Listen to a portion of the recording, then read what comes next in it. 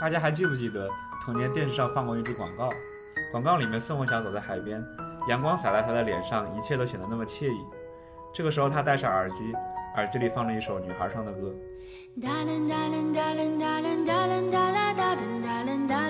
哈喽，大家好，我是耳朵。今天我们来和大家一起还原这首童年广告神曲《我在那一角落患过伤风》。事先声明一下，这个视频我们没有任何广告，大家可以放心使用。啊，当然了，我们这里的广告位正在招租。故事的开始很简单，有一位粉丝给我们留言，希望我们可以演奏这首歌，完成他的心愿。当我看到这个标题的时候，思绪一下子被带回了二零零几年，年少无知的我搬着个小板凳坐在电视机前，每次看到这个广告的时候，都感觉如沐春风。广告里那个女孩的歌声，仿佛十几年来一直萦绕在我的梦中。更重要的是，这首歌一下让我想到了乔妹，还有那些年追过的韩国女明星。这里就不继续展开了。总之呢，为了更好的完成这位粉丝的心愿，我们决定把这首歌好好的弄一弄。首先，我需要学习这首歌的钢琴部分。这对于从小学音乐的我来说，不是一件很困难的事情，因为我从很小的时候开始就养成了一个习惯，听到任何感兴趣的音乐，一定要从钢琴上演奏出来，不弹出来浑身不舒服。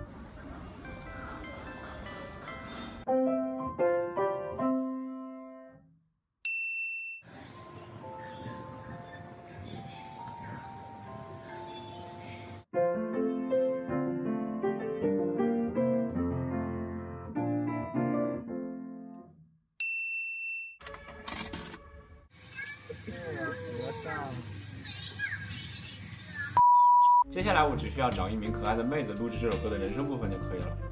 但是这个时候我突然发现一个问题，我的搭档是个小提琴啊！我难道不可爱吗？我也可以唱的，没问题。别唱了，这拉吧。哎，不是你拉。二一。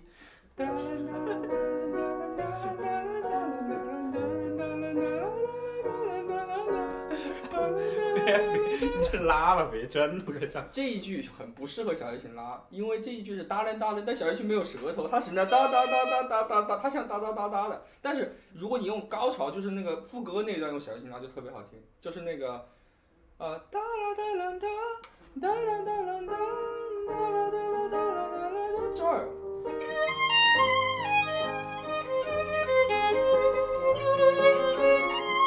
最后，我们还是决定好好改编一个只有钢琴和小提琴的版本。在一番激烈的讨论过后，终于开始了我们的正式录制。这个时候应该就会有老粉问了：“耳东啊，你们演奏的这么专业，那你们的录音设备一定也很专业吧？”我估计大家都猜不到我们的录音环境。你们可能以为我们的录音室是这样、这样的，但其实我们的录音室是这样、这样的。这个不足十平米的客厅就是我们的摄影棚加工作台加录音室。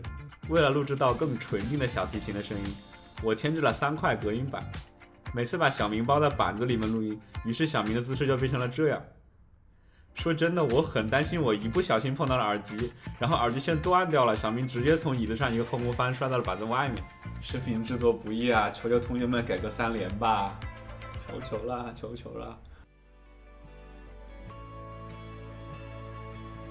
但是再艰难的条件也阻止不了我们帮粉丝完成愿望的心。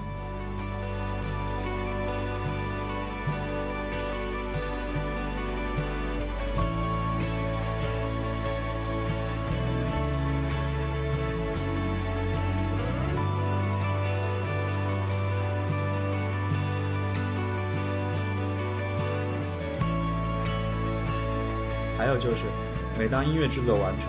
按下空格键播放的那一瞬间，你会发自内心的觉得，喜欢音乐真的是件很幸福的事。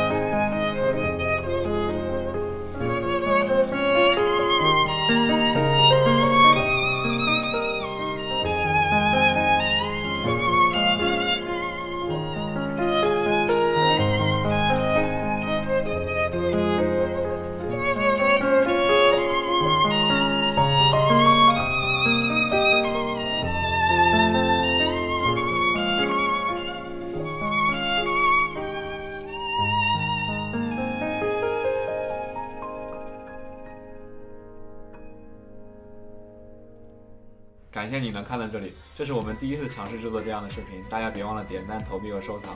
如果你有任何对这个视频的建议，欢迎大家在视频下方踊跃留言。最重要的是，如果你很喜欢这个视频的话，一定要记得转发给你的朋友们哦。我是二龙，我是小明。我们下期见。